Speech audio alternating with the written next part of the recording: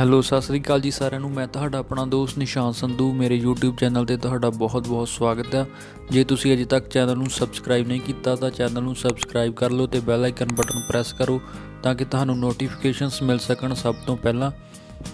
ਹਾਂਜੀ ਫਰੈਂਡਸ ਅਗਰ ਤੁਸੀਂ ਵੀ ਆਪਣੇ ਕਿਸੇ ਸੰਦ ਦੀ ਫ੍ਰੀ ਐਡ ਮੇਰੇ YouTube ਚੈਨਲ ਤੇ ਲਵਾਉਣਾ ਚਾਹੁੰਦੇ ਹੋ, ਤਾਂ ਆਪਣੇ ਸੰਦ ਦੀਆਂ 8 ਤੋਂ 10 ਫੋਟੋਜ਼ ਤੇ ਇੱਕ ਛੋਟੀ ਜਿਹੀ ਵੀਡੀਓ ਕਲਿੱਪ ਬਣਾ ਕੇ ਮੇਰੇ WhatsApp ਨੰਬਰ 9592923149 ਤੇ ਸੈਂਡ ਕਰੋ ਤੇ ਮੋਡੀਫਾਈਡ ਟਰੈਕਟਰਸ ਦੀਆਂ ਸ਼ਾਰਟ ਵੀਡੀਓਜ਼ ਵੇਖਣ ਲਈ ਮੇਰੇ Instagram ਪੇਜ ਨੂੰ ਫੋਲੋ ਕਰੋ ਤੇ ਚਲੋ ਫਰੈਂਡਸ ਕਰਦੇ ਹਾਂ ਵੀਡੀਓ ਸਟਾਰਟ ਹਾਂਜੀ ਫਰੈਂਡਸ ਆ ਸਕਰੀਨ ਤੇ ਜੋ HMT 3511 ਟਰੈਕਟਰ ਤੁਸੀਂ ਵੇਖ ਰਹੇ ਹੋ, ਇਹ ਵਿਕਾਊ ਹੈ ਜੀ ਟਰੈਕਟਰ ਦਾ ਮਾਡਲ ਆ 1993 ਬਹੁਤ ਹੀ ਸੋਹਣੀ, ਸਾਫ਼ ਕੰਡੀਸ਼ਨ ਦੇ ਵਿੱਚ ਟਰੈਕਟਰ ਆ, ਸਾਰਾ origignal ਆਲ origignal ਪੇਂਟ ਹੈ ਜੀ।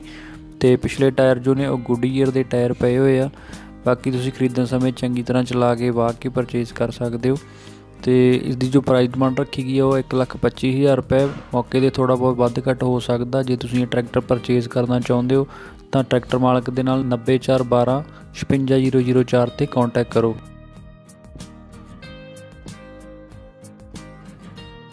ਹਾਂਜੀ ਫਰੈਂਡਸ ਅੱਜ ਦੀ ਵੀਡੀਓ ਵਿੱਚ ਬਸ ਇੰਨਾ ਹੀ। ਹੋਰ ਵਹੀਕਲ ਸੇਲ ਦੀਆਂ ਵੀਡੀਓਜ਼ ਤੇ ਮੋਡੀਫਾਈਡ ਟਰੈਕਟਰਸ ਦੀਆਂ ਵੀਡੀਓਜ਼ ਵੇਖਣ ਲਈ ਚੈਨਲ ਨੂੰ ਸਬਸਕ੍ਰਾਈਬ ਕਰੋ ਤੇ ਬੈਲ ਆਈਕਨ ਬਟਨ ਪ੍ਰੈਸ ਕਰੋ।